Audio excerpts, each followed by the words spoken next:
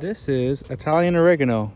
Not only is it great for its many culinary uses, but it's one of the easiest herbs to grow. It's great for a windowsill herb garden, a patio garden, indoor or outdoor. It is very fragrant and one of my all-time favorites. I recommend to trim it down to let these new leaves grow. It is a perennial in zones 5 through 10. So in Southern California, it will grow year round, year after year, as long as I keep maintaining for it properly.